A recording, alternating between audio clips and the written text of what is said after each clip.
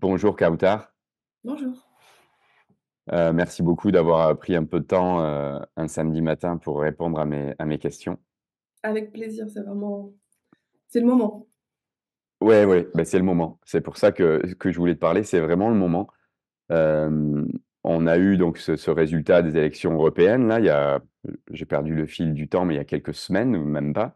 Heu, s'en est suivi la dissolution de l'Assemblée par, Emmanuel Macron. Hem Beaucoup de gens, en tout cas autour de moi et je vois, hein, sur les réseaux sociaux et cetera, ont été extrêmement choqués. C'est par ce résultat, des élections européennes où, donc le Rassemblement national a vraiment écrasé un peu, tout le reste et tous les autres, partis. Mais, toi, tu avais dit déjà en 2022, où on était devant à peu près le même, constat, hein, c'était Macron-Le Pen au 2e tour, que tu ne ressentais plus le le scandale, ni la peine face à des résultats comme ça. Aujourd'hui, est-ce que tu ressens les mêmes la même chose pour toi? C'est les mêmes sentiments qui ressortent? Disons que, ma position, elle est un peu, particulière puisque je travaille sur ces questions-là, j'écris à propos de de, ces objets. Donc disons que mon univers, il est complètement constitué par ces, heu, par ces par ces phénomènes. Et c'est vrai que pour quelqu'un qui s'est intéressé à la question, heu heu, coloniale, à la guerre d'Algérie, à, quelque chose comme, l'institution de de l'indigène, c'est des choses qui apparaissent, inscrites dans un certain cours de l'histoire, en fait, dans le cours de l'histoire, heu, française. Donc en soi, ça n'a pas, disons, une force, heu, d'étonnement ou de scandale du point de vue, heu, politique, du point de vue structurel, du point de vue, d'un certain ordre, national. Ça reste bien sûr, scandaleux d'un point de vue, du point de vue moral sur, sur l'ensemble des éléments, on considère, heu, qu'on tend plutôt vers quelque chose, heu, qui favorise la vie ou plutôt vers quelque chose qui favoriserait, heu, plus des processus de violence, de mortification, de choses de cet ordre-là. Donc je garde d'une certaine manière cette, cette, position-là. Ce n'est pas scandaleux au regard de ce qu'est la France. Ce n'est pas scandaleux au regard de, l'évolution d'un certain nombre de pays, hem, européens. Je pense, heu, bien sûr à l'Italie, je pense aussi dans une certaine mesure, heu, à l'Allemagne, à la Hongrie. On peut aussi penser, à une partie du continent, sud-américain. Donc tout ça, ce sont quand même des, des, des phénomènes, fondamentaux, mais des quand quand quand je dis des phénomènes fondamentaux, c'est des phénomènes, de fond, c'est-à-dire, qui qui brassent, qui véhiculent, heu, des siècles et des siècles de de construction de ce qu'est être européen, de ce qu'est être occidental, de ce qu'est être blanc et de ce qu'est être étranger, heu, immigré, musulman, hem, exilé. Donc voilà, ma position, elle est prise entre ces 2 ces 2 tensions-là. Le fait que ça ne m'étonne pas et le fait qu'il ce n'est pas bon signe de ne pas être étonné par ces par ces phénomènes. Merci et toi, du coup, qui travaille vraiment en profondeur sur ces questions, heu et du coup qui, heu, qui cherche toujours le, mmh, la source du problème quelque part et qui essaie de rationaliser, heu, les choses. Hem, cette, hem, ce résultat du coup des élections européennes pour commencer, heu, avec un tout petit peu de recul, parce que ça fait, je te dis, je sais même plus, heu, 10 jours, 15 jours, heu C'est ça. C'était le 15 comment, heu, ouais, comment, hem, au vu de ton travail, du coup, depuis des des années, comment comment l'analyses-tu? Je sais que c'est très très court une analyse, hein, en quelques jours, mais, hem Disons que le phénomène qu'on qu'on qu'on observe, hein, et qui a vraiment été analysé par, heu, par, heu, des chercheurs, des philosophes, heu, bien bien avant moi, enfin dans le cadre d'une autre génération, hem, il y a quelque chose qui semble fondamental, c'est ce que Rancière, par exemple, heu, a pu appeler, heu, la haine de l'égalité. Ça, c'est quelque chose qui est vraiment, omniprésent. C'est-à-dire, on parle souvent des luttes, révolutionnaires, des luttes, qui se mènent à gauche, des luttes, qu'on dit parfois, progressistes et cetera. Mais il y a aussi des luttes, qui se déroulent, dans l'autre camp, en fait et qui sont des luttes qui visent justement à maintenir, heu, une certaine forme, heu, d'inégalité entre, heu, entre les êtres, entre les êtres humains.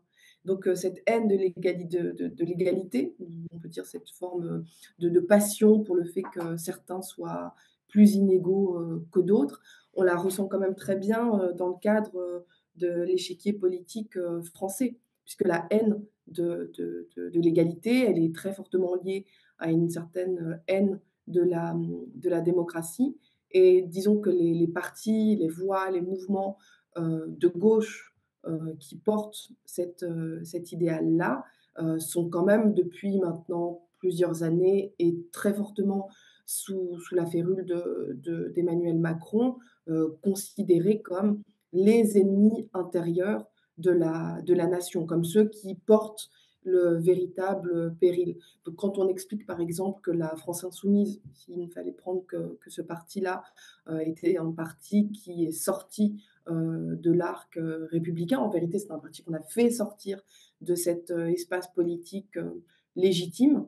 Ça dit quelque chose de cette place, qui est faite tout d'un coup à la droite de la droite, donc à toute, heu, toute cette partie, heu, réactionnaire, heu, hem, fasciste, extrêmement conservatrice, nationaliste, très, très très virulente, très, très très très attachée à cette idée, de préférer, soi plutôt, plutôt que l'autre. Donc encore une fois, c'est inscrit dans ces ces ces mouvements des droites, européennes, des extrêmes droites, heu, européennes, que de se positionner comme, heu, les, heu, les voix légitimes de la défense des intérêts de la de la nation. Donc on pourrait dire d'une certaine manière qu'on est aussi dans un mouvement de renationalisation, de la de de de la France, au regard, de toute, de toute son histoire, coloniale. On resserre les rangs et on resserre les frontières, de qui a le droit à appartenir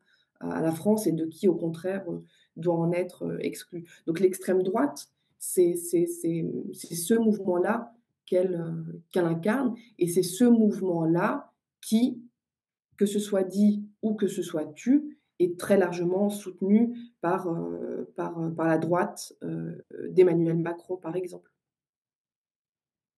Ouais, c'est ce que tu avais dit d'ailleurs, je crois aussi en 2022, hem, Emmanuel Macron n'est pas Marine Le Pen, heu, et Marine Le Pen n'est pas Emmanuel Macron, mais ils marchent ensemble. Donc j'imagine que c'est ce que ce que tu viens d'expliquer. Oui, c'est ça. Hem, On avait avec dans dans le cadre d'un texte avec Joseph Andras, on avait essayé de de mettre un peu de un peu d'ordre dans cette, heu, relation-là, qui est pas une relation, simple. Effectivement, je pense que c'est important toujours de dire que Macron n'est pas Le Pen, que Le Pen n'est pas Macron. Voilà, ça permet, de ne pas sombrer dans une forme de de de confusionnisme, total et cetera. Même si encore une fois, je pense que la confusion, elle est largement entretenue par, heu, par ces 2 personnages politiques, heu, hem, eux-mêmes. Mais ils ont malgré tout, une une relation, très forte. Il me semble que, sur le plan, comme on dit parfois, culturel, je pense aux questions de laïcité, je pense aux questions, qui touchent, à l'islam, à la question aussi, des, des exilés, politiques. Ce que Macron pense, souvent ce n'est pas lui qui le porte. On a bien vu comment la relation, par exemple, entre Marlène Schiappa et un Gérald Darmanin a été, heu, très forte dans, heu, la construction de, l'i l'idée d'un séparatisme, l'idée, d'un danger intérieur et ces idées-là, sont des idées qui sont présentes dans le logiciel, de Marine Le Pen. Donc il y a une sorte de comme je le disais dans dans une émission récente avec, hem, heu, Révolution permanente, il y a une forme de sous-traitance. Emmanuel Macron, heu, demande souvent, à ce que certaines questions soient traitées par l'extrême droite, afin que lui puisse préserver son image, plus propre, plus morale, plus républicaine, d'un homme qui serait attaché, à l'égalité et aux valeurs, de la France. Donc voilà, c'est une relation extrêmement, heu, complexe, mais qui, hem, qui témoigne malgré tout d'une forme de solidarité politique. Et je voulais revenir sur sur un point. Tu disais donc, que l'extrême droite représentait, ce sort de, de haine de l'égalité. Mais il y a quelque chose qui se passe et qui est très profond, je trouve et on l'entend, dans la bouche des électeurs, souvent du du Rassemblement national ou de partis d'extrême droite. Ces ce ces croyances, déjà, on sait qu'une croyance, souvent n'est pas basée vraiment sur sur du rationnel, en fait. Moi, j'ai des discussions avec, avec des gens, qui sont par ailleurs charmants, humains, aimants et qui me disent qu'ils vont voter Rassemblement national. Quand je leur explique, par des faits, ce que veut dire le Rassemblement nation national, d'où vient le Rassemblement national, comment vote le Rassemblement national, en fait, ils ne veulent pas m'entendre. Et quand je leur dis, hem, par exemple que, heu, le Rassemblement national est basé sur la haine de l'autre, la haine de l'égalité ce n'est pas leur valeur à eux, en tout cas aux gens que je parle. Et la plupart d'ailleurs sont en contact avec des gens racisés, travaillent avec des gens racisés. Et donc je voulais en arriver à cette question du rationnel et de l'irrationnel, en fait. Et comment, heu alors moi je pense qu'il y a un énorme travail, heu, qui a été fait par les médias à ce niveau-là, de comment, hem et oui, on a d'autres histoires. Je crois que c'était, heu, Ivan Le Bolloc là qui parlait, récemment là et qui disait qu'il il il y avait une mamie qui témoignait, d'un village en Bretagne où, il y a quelque part, il y a pas un arabe et un noir dans le village et qui disait, «Je me sens j'ai un sentiment d'insécurité» et quand la personne disait: «Mais ici, tout va bien pourtant», elle disait: «Oui, oui, mais c'est en regardant la télé». Et ça se passe tous les jours, hein. Moi, entre nous, je connais je viens du sud de la France, j'ai des gens, des amis, de la famille dans le sud de la France qui me parlent constamment de sentiments d'insécurité à cause de l'immigration, mais quand je leur demande concrètement qu'est-ce que ça veut dire pour eux, ils me disent: «Ah moi tout va bien, j'ai aucun problème». Donc voilà, c'est pas une question, mais comment, hem, percer ce ce truc-là? C'est vraiment du truc de fake news et cetera aussi, hein, mais comment arriver à rentrer dans la tête des gens que, par exemple, le Rassemblement national n'est pas le parti des pauvres et des travailleurs? Oui, c'est vrai que c'est quelque chose qu'on entend de manière vraiment régulière et ça fait même partie de l'argumentaire, heu, développé par le Front national que de se positionner, heu, sur la question sociale et de se positionner, heu, pour elle et dans l'intérêt, des classes, les plus, défavorisées. Je pense que c'est toujours, trompeur de considérer que la question, heu, raciale, hem, charrie, heu, essentiellement, des émotions ou des affects. Moi, je suis convaincue qu'on peut tout à fait, être, charmant et gentil et par ailleurs, nourrir, une certaine forme de vision, inégalitaire, du monde, en considérant par exemple, que certains méritent d'être tout en haut, que d'autres méritent d'être tout en bas, que certains sont plus méritants, que d'autres et cetera.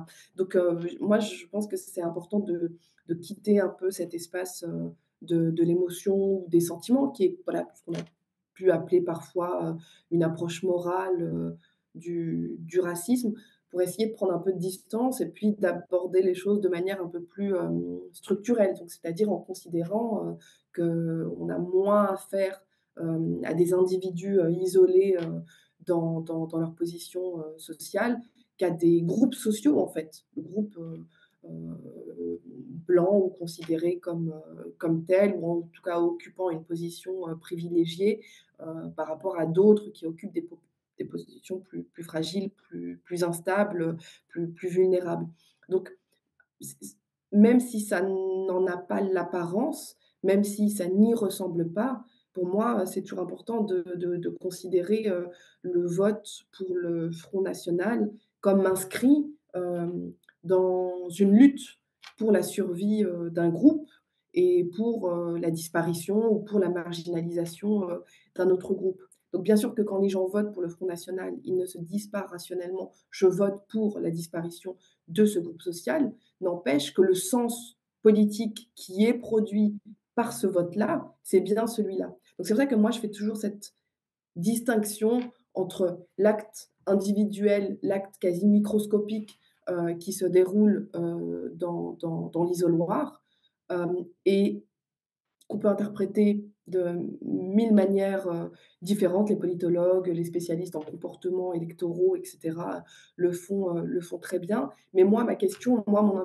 intérêt, il est davantage centré sur le sens politique produit par ce vote-là. C'est pas le vote en lui-même et sa signification qui qui m'importe, c'est plus ses conséquences et ses effets. Ses conséquences et ses effets, c'est quelque chose qui s'observe à l'échelle, heu, à heu heu, politique. Donc ça veut dire que ce n'est pas un travail de conviction, à mon sens, qui qu'il s'agit de bien sûr qu'on peut faire ce travail de conviction. Les militants le font dans le cadre du porte-à-porte, dans le cadre, heu, des rencontres sur les marchés, voilà, dans tout dans tout ce travail de militantisme très concret, très très installé sur le sur le terrain. Heu, ce travail de conviction, ce travail de pédagogie, de d'explicitation et cetera, il importe. Mais hem, ce n'est pas que ça, c'est aussi une lutte d'intérêts, c'est aussi des éléments qui touchent à ce que des personnes perçoivent par rapport à ce qu'elles vont gagner ou par rapport à ce qu'elles, heu, vont perdre. Et les individus aujourd'hui, du fait du capitalisme, du fait de l'organisation, heu, sociale, notamment sur sur le marché de l'emploi, heu, vivent malgré tout un sentiment de, de concurrence, profonde et qui est construit, qui est alimenté effectivement, comme tu disais, par, par les médias. Donc je pense qu'il que le travail d'information, de conviction, de, de persuasion, il est il est important, mais le racisme, c'est pas une incompréhension. Le racisme, c'est, vraiment, heu, une lutte à mort entre une personne qui a le souhait de pouvoir exister et une autre personne qui souhaite elle aussi exister, mais exister, heu, seule dans son propre, heu, univers de référence. Donc je pense que c'est important d'essayer d'avancer un peu sur tous les terrains, sur le terrain, interindividuel, pourquoi pas, mais aussi bien sûr sur le champ du politique, sur le champ de la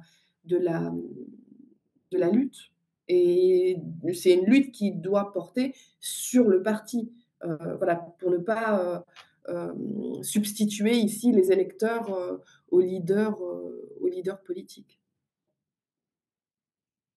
Ouais, merci merci beaucoup, pour ça, Kautar. Je, me demandais encore, on en a déjà un peu parlé, mais, malgré que ça soit souvent des émotions, des croyances et des sentiments peu rationnels.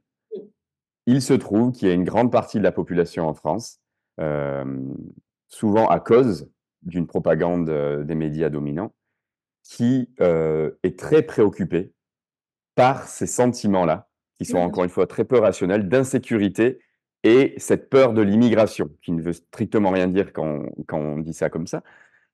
Et comment arriver du coup, tu tu as un peu répondu, c'est par la lutte, c'est sur le terrain, mais comment arriver à parler, malgré tout, à ces gens-là?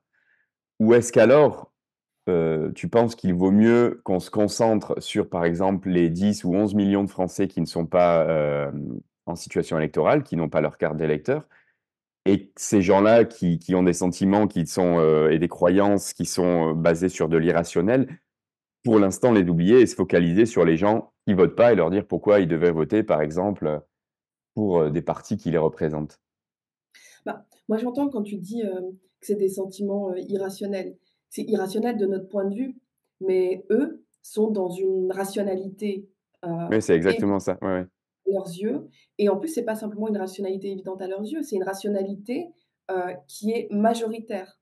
C'est-à-dire que si on reprend un peu, la cartographie des des rapports de force, c'est nous qui sommes totalement minoritaires, c'est nous qui apparaissons comme totalement, hem, fous, c'est même nous qui apparaissons comme totalement, hem, heu, dangereux, à tel point que certains, sont, convoqués par la police, qu'on les soupçonne, et même qu'on les accuse, devant devant le tribunal, d'apologie, du terrorisme. Enfin, je veux dire, c'est nous qui sommes, vraiment, accablés, par, cette idée selon laquelle, notre raison serait, heu, serait à bannir de l'espace, heu, public, de l'espace démocratique.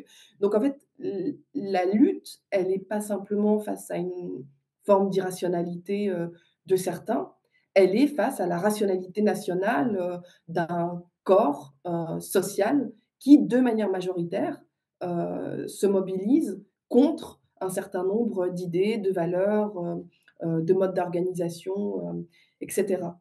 Donc c'est 2 rationalités donc à mon sens, c'est 2 rationalités qui se qui se confrontent de manière très très classique, on pourrait dire au sens de l'histoire. Une rationalité qui plaide pour l'égalité, qui plaide pour la solidarité, qui plaide pour que les vivants demeurent dans le monde des vivants, et une autre rationalité qu'on a appelée à une certaine époque fascisme, qu'on a pu euh, appeler euh, nationalisme, voilà, on peut lui trouver euh, bien, bien des noms, qui au contraire est davantage sur un, sur un mouvement de fermeture, qui est sur un mouvement de radicalisation des, des, des, des, frontières. Et, et ça, c'est un choc. C'est un choc politique terrible qui alimente la société française, qui l'a fait euh, euh, se mouvoir.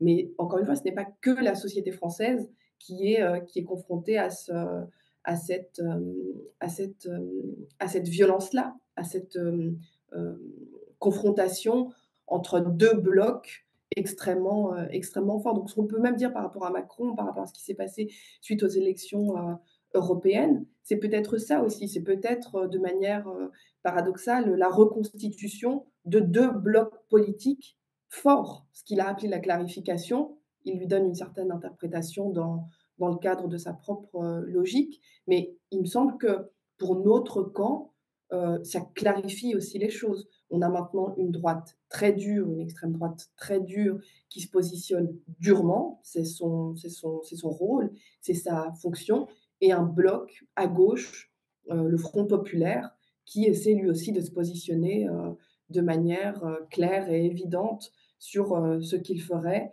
si cet agrégat de partis politiques arrivait au, pouvoir. Donc, on a, donc ça se restructure, on pourrait dire, de manière plus, plus évidente. Et cette évidence, elle est effrayante parce que c'est l'évidence de, de, la violence qui potentiellement est en train de se, préparer. Oui, en fait, tu dis ça se, ça se restructure, ça se, les choses se clarifient quelque part. Il y a une sorte de clarification de voile comme ça qui est, qui est levée. Euh, mais moi, quand je t'entends parler, je me dis tout ce que tu racontes, c'est euh, le, le, fruit aussi du capitalisme, du néolibéralisme qui a besoin de créer ces divisions pour survivre. Et, euh, mais je voulais te parler d'une question parce qu'on parle là de, des élections, on parle du, du euh, Front National, du Rassemblement National, euh, mais on parle de tout ça sous, euh, dans un contexte où il y a un génocide en cours à Gaza, un génocide qui dure depuis, j'ai perdu le fil, mais je crois que c'est neuf mois maintenant. Mm. rien que de dire ça, ça me, c'est très très choquant. J'ai encore du mal à me dire que neuf mois plus tard, on est encore euh, en train de vivre ce traumatisme euh, collectif. Parce que je voulais t'en parler aussi parce que la question du génocide à Gaza a, a, été complètement euh, a, pris une part énorme dans le débat politique en France. Et ce qui est intéressant, je trouve, c'est que tous ces éditorialistes, tous ces présentateurs de débats télévisés, tous ces journalistes qui disaient à LFI, par exemple, et aux autres, pourquoi vous ne parlez que de Gaza alors que nous sommes en France? Maintenant, du coup, qu'il y a du coup ce front populaire, on entend des choses complètement aberrantes, mais qui sont pour nous, qui avons étudié ça, complètement logiques, encore une fois, où euh, j'entends des débats où on a, euh, je dirais n'importe quoi, Clémence Guettet qui est sur un plateau de télé, qui, euh, ou ça peut être Manuel Bompard, qui, qui parle du programme du Front populaire augmentation du SMIC, euh, gel des loyers, euh, reconnaissance de l'État de la Palestine, etc. etc. Euh, donc un programme français basé sur ce qui va se passer en France. Et l'éditorialiste qui nous disait, vous ne parlez que de la Palestine, ils disent, oui, mais est-ce que le Hamas est un mouvement terroriste? Et puis les gens disent, mais attendez, on parle des élections législatives en France. mais est-ce que le Hamas est une... Et donc, je voulais... ça me rend fou complètement, euh, Barjo, mais parce qu'en plus, c'est ces mêmes éditorialistes qui, depuis neuf mois, n'ont jamais condamné le génocide à Gaza et refusent même d'utiliser le mot génocide. Euh, je voulais donc te demander, dans quelle mesure penses-tu que la situation en Palestine a influencé le scrutin d'une manière ou d'une autre? Et euh, dans quelle mesure, avec ta vision des choses qui est très intersectionnelle, ce qui se passe à Gaza peut expliquer aussi euh, ce qu'on vit en France, en Italie, etc., ces montées du, du du du fascisme ou du néofascisme, en fait?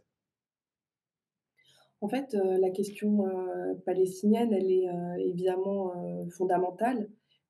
Je dirais que d'une certaine manière, elle est déjà fondamentale, pour elle-même et pour les Palestiniens et pour les Palestiniennes. C'est une, situation, coloniale qui dure maintenant depuis, plusieurs, décennies, dans un monde où, on a davantage, réfléchi la question, de la colonialité. C'est-à-dire de ce qu'il se passe, heu, dans les pays anciennement colonisateurs, une fois que les indépendances, heu, ont ont surgi. Donc la question palestinienne, heu, elle est elle est fondamentale, pour ça, en fait, parce qu'elle nous rappelle, ce que l'impérialisme peut faire, peut faire à la terre, mais peut aussi faire, à toutes les populations autochtones, qui, réclament le droit à l'autodétermination. La particularité en plus de la question, hem, heu, palestinienne, c'est qu'elle est, à mon sens, tout entièrement liée au positionnement, hem, des puissances occidentales par rapport, aux pays du Sud global, en fait. C'est-à-dire que ce que les États-Unis ou ce que la France ou ce que, «l'Allemagne» entre guillemets, ne peut plus faire, à ses anciennes, colonies, elle se permet de continuer à le faire à travers, heu, l'État israélien, à travers la doctrine, heu, sioniste et ça, on l'a bien vu lorsqu'il a été, question, par exemple, pour Emmanuel Macron, mais, pour, bien d'autres, personnalités, politiques, d'apporter leur soutien à Benyamin Netanyahou. Et il n'y a pas très longtemps, il doit y avoir peut-être euh, une semaine, euh, Macron était à nouveau questionné sur cette, euh, sur cette euh, dimension-là. On était déjà à plus de 30 000, euh, 30 000 morts, plus de 100 000 personnes euh, blessées, des mois d'un génocide qui, n'en finit pas.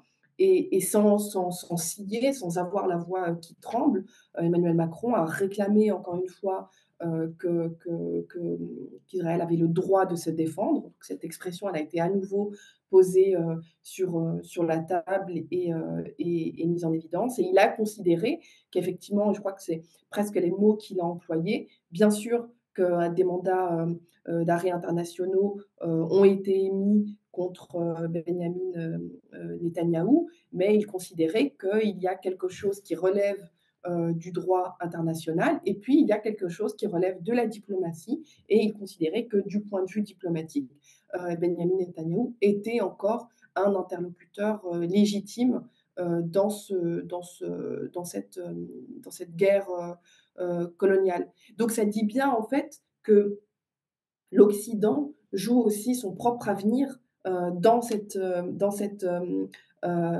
partie euh, dans cette partie euh, du monde. C'est les derniers, on, bien évidemment, il y a la question du Sahara occidental, bien évidemment, il y a la question du Kurdistan, bien évidemment, il y a la question de la, de la Kanaki. Enfin, il reste comme ça des, des, des, îlots euh, terribles où la violence euh, coloniale se, se, se, manifeste. Mais en Palestine, ça atteint euh, des. ça, ça, mobilise, entre guillemets, une attention euh, internationale euh, qui, est due à ça, au fait que c'est aussi une question occidentale et que l'Occident est grandement euh, investi dans cette, euh, dans cette opération de, survie, de survie de son point de vue de, de, l'État d'Israël, mais de survie aussi de sa propre impérialité, en fait, de sa propre légitimité à, à organiser le monde comme il, comme il l'organise. Donc ça, voilà, ça c'est la centralité palestino-palestinienne, on pourrait dire. Et ensuite, euh, évidemment que dans chaque espace national, cette question, elle va importer. Le grand, le grand événement, on pourrait dire, l'orientation la, qui a été prise par la France insoumise, elle n'est pas, elle est pas, elle n'est pas étonnante au sens où la France insoumise s'était déjà positionnée d'une certaine manière par rapport à la question d'islamophobie, par rapport à la question euh, du, racisme. On se souvient que euh, Jean-Luc Mélenchon avait employé l'expression euh, de raciser, il avait parlé des racisés, puis ça avait provoqué une certaine forme d'émoi parce qu'on considérait qu'il avait tout d'un coup basculé dans une logique antiraciste, ce qui n'était pas à l'ordre du jour pour, pour tout le monde, même dans son propre, même dans son propre parti. Donc c'est évident que, cette, cette question, a permis à la France insoumise, de se positionner de manière encore plus radicale face à la radicalité, d'en face. Et je veux dire, on parle beaucoup de Jean-Luc Mélenchon qui a dénoncé, heu, le génocide colonial du peuple palestinien, mais à mon sens, on devrait, heu, consacrer, autant de temps, si ce n'est plus de temps à l'ensemble des partis et puis même l'ensemble des personnalités politiques qu'on peut clairement, identifier et qui ont considéré que ce qui se passait là-bas, c'est-à-dire encore une fois un génocide, de type, colonial, donc une intention génocidaire qui a été alimentée, qui a été prouvée, qui a été, heu, mise en évidence, heu, par, heu, un certain nombre d'acteurs internationaux, à l'ONU, à la Cour internationale de justice et cetera, que tout ça était légitime, que tout ça était, normal,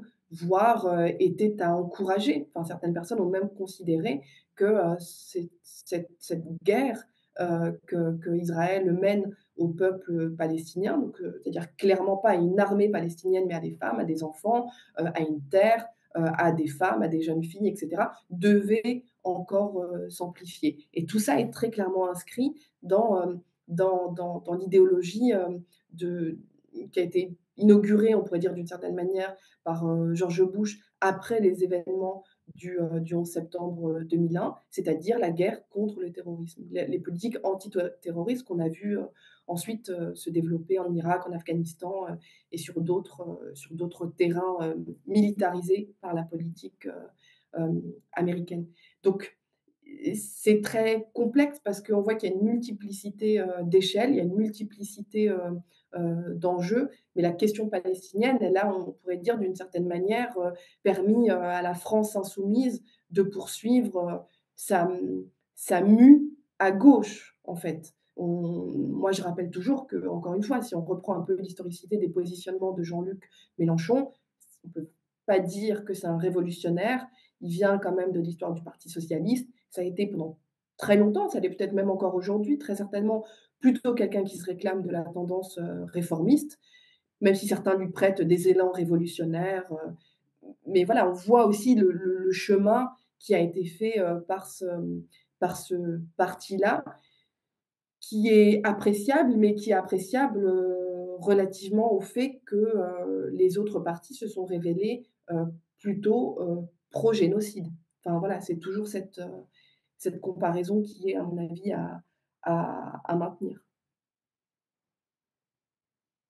Ma dernière question et en fait, c'est bien parce que tu tu m'as vraiment, heu, lancé une une, perche. Le tu dis que la France insoumise, du coup, heu, la Palestine est encore, c'est comme, heu, si la France insoumise était sur un chemin, en fait, hein, et là, la la Palestine a ajouté quelque chose à son chemin vers la compréhension de comment le monde marche, vers un anticolonialisme ou antiracisme, mais là, on parle d'un front populaire. Alors, on Mmh. comprend tout à fait la nécessité, évidemment, d'un front populaire pour, no pass al quoi, ne pas laisser passer le le fascisme, c'est très important. Maintenant, il y a des gens qui vont nous dire: «Écoutez, le Front populaire, heu, Chirac en 2002, je crois, c'était déjà Le Pen au deuxième tour. Macron en 2022, c'était déjà Le Pen au deuxième tour. On nous a fait ce truc», heu, alors là, c'était l'arc républicain, mais tout sauf Le Pen. On en a marre de voter toujours pour le moins pire des 2. Hem, donc, heu, en fait, heu, en gros, ça ne marche plus ce truc. En fait, on sait que tous les 4 ans ou tous les 5 ans, va y avoir ce front républicain. Macron, après, il va pouvoir dire, comme Chirac l'avait fait en 2002: «J'ai été élu par plus de 80 des Français». Donc comment répondre à ça, déjà, à cette question-là? De la nécessité d'un front populaire, pour faire barrage à l'extrême droite, mais foncièrement, il va falloir créer autre chose si on veut arrêter tous les 5 ans de faire un front populaire ou un arc républicain. Et la deuxième chose, ce front populaire quand même que je souhaite, hein, il tient à très, très peu de choses parce que, par exemple, le le la LFI a fait, heu, un pas, heu, 2-3 pas en avant vers vers les questions de colonialisme et cetera. Il y a d'autres partis dans le Front populaire qui n'en sont pas du tout là. Donc, heu, on sait qu'idéologiquement, il y a des, il y a des grosses, grosses divergences à l'intérieur de ce Front populaire et donc la question c'est: est-ce que tu penses que ça peut réussir? C'est une Et grande, voilà. heu, c'est une grande question. Moi, je sais pas si ça je sincèrement, je ce qui est évident, c'est que c'est que la gauche, heu, n'est pas n'est pas, mmh, n'est pas majoritaire. Enfin, même dire ça, c'est pas si c'est pas si simple que ça parce qu'il y a quand même, heu, des, des des foyers, je pense, heu, aux quartiers populaires, je pense, évidemment au secteur, du monde, ouvrier, où où la, la tendance ou le le le réflexe serait bien sûr d'aller, heu, vers, heu, des forces de gauche susceptibles de défendre, heu, les intérêts, propres de ces, de ces de ces groupes-là. Il me semble que ce qui est très compliqué pour moi et c'est pour ça que j'étais très heureuse, heu, au soir, du 9 juin, de me dire, «Les élections sont finies». Parce que je pense vraiment que l'élection, c'est la forme, politique la plus celle qui évidemment est perçue comme inscrite dans un cadre démocratique et cetera, mais c'est aussi une forme antidémocratique, heu, très, très évidente. La question de l'abstention, la question des personnes qui sont radiées des listes, heu, électorales, l'inégalité entre les personnes qui ont été socialisées au vote et celles qui au contraire ne l'ont pas du tout, heu, été. Enfin voilà, je veux dire, l'élection, c'est une capsule, très très, Très désagréable. Donc moi, au soir des élections, je suis toujours contente de me dire: «Bon, elles ont eu lieu, mais heureusement demain matin, on passe à autre chose» et là, heu heu, voilà, manque de chance, heu, historique, on ne passe pas à autre chose. On se retrouve à nouveau, face à des élections, législatives cette fois-ci qui, reviennent. Donc là, effectivement, comme tu dis, je pense que l'impératif pour beaucoup, c'est de se dire, «Il y a un feu qui est en train, de prendre, il faut jeter de l'eau». Donc on jette de l'eau, on jette de l'eau, on jette de l'eau. Ensuite, heu, il faudra bien, heu, se dire que le feu ne va pas s'éteindre, mais que potentiellement, on aura moins d'eau, heu, pour, pour essayer de de de de de l'éteindre.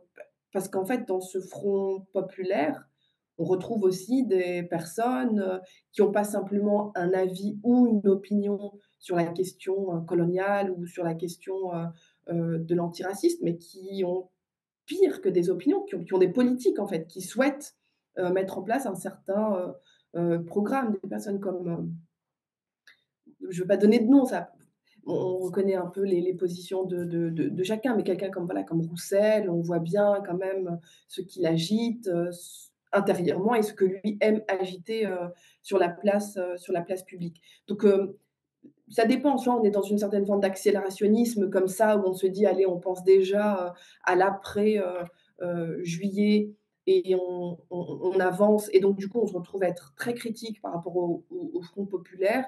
Ou alors on se dit qu'à chaque jour suffit sa peine et on se met en ordre de marche et on avance vers ce Front populaire et on le soutient et on se dit: «On verra bien avec quoi on peut éteindre le feu, après, après que l'union, soit, soit passée». Ce qui me semble assez inquiétant, c'est qu'en fait, hem et c'est Anas Kazib qui le disait dans un post sur, heu, sur, heu, sur X, à savoir, des des forces politiques ou des, ou des des personnalités qui ont plutôt, participé à la construction du problème musulman, par exemple, ne vont pas, du jour au lendemain, se révéler être des personnes, qui, se positionnent, contre l'islamophobie. Enfin, voilà, les je suis pas certaine que, heu, la force et la violence, de l'extrême droite suffisent à, heu, modifier, à transformer dans le bon sens du terme, heu, le logiciel interne d'un, François Hollande ou d'un Fabien Roussel ou donc il y a une situation d'urgence, on est dans une situation minoritaire, qui est vraiment, très forte au sens où les possibilités qui nous sont, offertes, elles ne sont pas, nombreuses, mais elles sont quand même, Présente. Il n'y a pas que le Front populaire. On peut aussi, heu, réfléchir les choses de manière un peu, heu, un peu différente, heu, en étant critique, par exemple, voilà, en étant un peu plus, sceptique par rapport, par rapport, par rapport à ça. Parce que d'une certaine manière, c'est encore, une politique du barrage, qui, qui qui est faite, mais on se retrouve à barrer le chemin à l'extrême droite avec des gens qui nous ont eux-mêmes barré, le chemin quand on était positionnés encore un peu plus, heu, un peu plus à gauche. Donc tout ça, c'est la «cuisine» entre guillemets, heu, des des élections, voilà, de l'expérience, électorale qui en projette certains, qui en qui en invisibilise, d'autres. Moi, ce que je trouve quand même assez frappant, c'est que la question de l'antiracisme, elle elle n'émerge pas aussi fortement qu'elle devrait émerger face à la montée, de l'extrême droite. Plus précisément, je pourrais dire que j'ai l'impression que beaucoup se revendiquent de l'antiracisme, mais ceux qui se revendiquent de l'antiracisme sont blancs. Donc la question, c'est aussi où sont, heu, les collectifs historiques qui, qui portent la question, de l'antiracisme à partir de l'expérience, de terrain. Ça, c'est quelque chose, voilà, qui est quand même assez, frappant. Donc donc heu, donc ça dépend. Ça dépend de beaucoup de choses, ça dépend de beaucoup de critères. On verra. Voilà, on est un peu, heu, on est un peu, limité, mais voilà, comme je le disais déjà dans l'émission, avec, Révolution Permanente, on avait vécu ça un peu en direct. Je pense que c'est important aussi de penser, à la suite, de penser au fait que, le monde va se poursuivre, que le matin du du 8 juillet va bien se présenter, à nous et qu'à ce moment-là, il faudra bien continuer à faire, heu, pression. Donc la chose dont je suis certaine, c'est que la lutte ne va absolument pas s'arrêter et que de la même manière que certains, certaines, heu, luttent actuellement contre, heu, l'extrême droite, on sera amené aussi à lutter contre une, certaine gauche, contre une certaine formation de gauche, si le Front populaire parvient à, bâtir, quelque chose. Donc ça, c'est évident, c'est cette espèce de continuité de la de la de la lutte et puis de de de de l'éveil, heu, de l'éveil politique, je pourrais dire. Merci, merci beaucoup, Kautar. Merci.